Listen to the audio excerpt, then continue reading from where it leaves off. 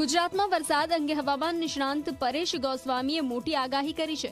બંગાળની ખાડીમાં સિસ્ટમ સક્રિય થતા વરસાદ ગુજરાતને ઘમરોળશે સુરેન્દ્રનગર, મોરબી અને દક્ષિણ ગુજરાતના જિલ્લામાં ભારે વરસાદની આગાહી છે. તો મધ્ય ગુજરાતમાં પણ આગામી ત્રણ દિવસ ભારેથી અતિ ભારે વરસાદ વરસશે. ગુજરાતમાં ચોમાસું બરાબરનું જામ્યું છે. ત્યારે ફરી એક વખત સૌરાષ્ટ્ર અને દક્ષિણ ગુજરાતમાં ભારેથી અતિ ભારે વરસાદની આગાહી કરાઈ છે.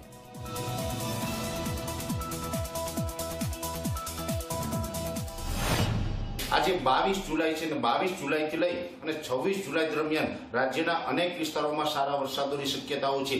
જેમાં ખાસ કરીને સૌરાષ્ટ્રના અમુક વિસ્તારો છે એ બાકાત રહી ગયા હતા. એમાં ભાવનગર, બોટાદ, અમરેલીના અમુક ભાગો, સુરેન્દ્રનગર અને મોરબી જેવા વિસ્તારોની અંદર પણ બાવીસથી ચોવીસ જુલાઈ દરમિયાન સારા વરસાદની શક્યતાઓ છે. ખાસ કરીને પચીસ છવ્વીસ તારીખમાં પણ હળવા મધ્યમ વરસાદો છે. મધ્ય ગુજરાતના જે ભાગો છે, જેની અંદર અમદાવાદ, ગાંધીનગર હોય, આણંદ, નડિયાદ, ખેડા જેવા વિસ્તારો છે, બરોડા છે, અને એ સાથે મધ્યપ્રદેશ બોર્ડર લાગુ વિસ્તાર છે, જેમાં મહીસાગર, દાહોદ, ગોધરા અને છોટાઉદેપુર. આ તમામ વિસ્તારોની અંદર પણ આવનારા ત્રણ દિવસ સુધી ભારે વરસાદ જોવા મળશે ઉત્તર ગુજરાતના જે તમામ સેન્ટરો છે, જેમાં અરવલ્લી હોય, સાબરકાંઠા, બનાસકાંઠા, પાટણ, મહેસાણા, આ તમામ વિસ્તારોમાં પણ બાવીસ જુલાઈથી લઈને છવ્વીસ જુલાઈ દરમિયાન સારા વરસાદો નોંધાશે ઉત્તર ગુજરાતમાં પણ કદાચ એક બે સ્પેલ ભારે થઈ જશે.